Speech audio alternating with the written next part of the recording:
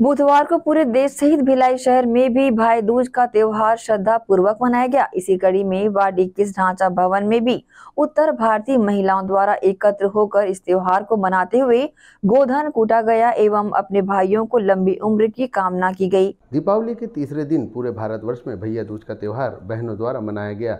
इस त्यौहार को उत्तर भारत में अनोखे ढंग से मनाने की परंपरा रही है। इसी परंपरा का निर्वहन करते हुए नगर पालिक निगम भिलाई के वार्ड 21 ढांचा भवन कुरुद में उत्तर भारतीय महिलाओं द्वारा पूरे पारंपरिक ढंग से भैया दूज का कार्यक्रम मनाया गया।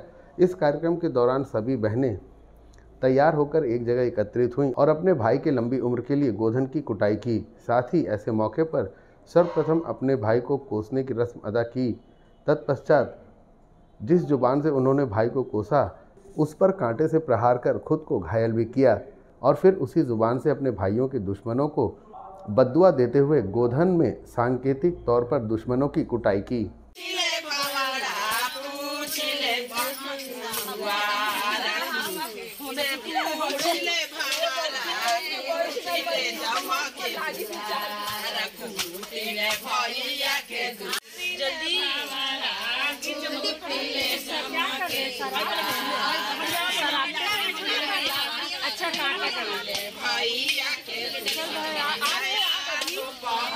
गोधन कुटाई की रस्म अदा करने उपस्थित हुई सभी महिलाओं ने अपने अपने भाइयों की लंबी उम्र की कामना की और भैया दूज पर हुए।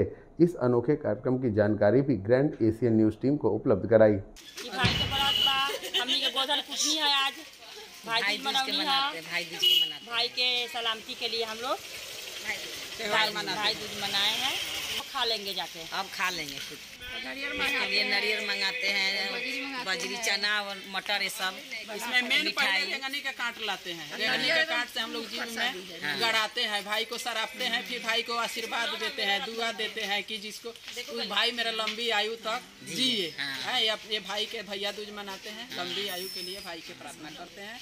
ये सदियों से परंपरा हम लोग पिताजी भी किए हैं और हम लोग भी वही देखा सर्दी से हम लोग बहुत पुराना मतलब है भाई के ही त्यौहार है भाई के त्योहार है।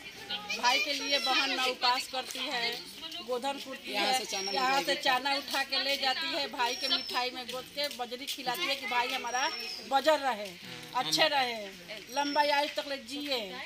तब हम लोग अपना भाई के फिर हम लाल लाल के। साड़ी देवे हमनी के जाके। फिर हम पेन पेन के आई। छठ करे जाए छठ करे जाई। लाल लाल साड़ी और लाल लाल चूड़ी। हमार भैया आबाद रहो। जहाँ रहो। तहाँ एकदम आबाद रहो हाँ। पूरा गाँव भर के देश दुनिया के भैया आबाद रहो सब बहन भी आबाद रहो। सब बहनी के आशीर्वाद हाँ, ये मेरा बिहार के नियम है। नियम है पहला व्रत मेरा यही है। एक बाद छठी मैया का व्रत शुरू हो गया उसके बाद उपस्थित महिलाओं ने एक दूसरे को सिंदूर लगाकर इस त्यौहार की बधाइयाँ दी। कार्यक्रम के अंत में कूटे गए गोधन में से प्रसाद स्वरूप चना और नारियल को निकालकर सभी बहनों ने अपने घर की तरफ़ प्रस्थान किया। ग्रैंड एशियन न्यूज़ के लिए भिलाई से संतोष शर्मा की रिपोर्ट।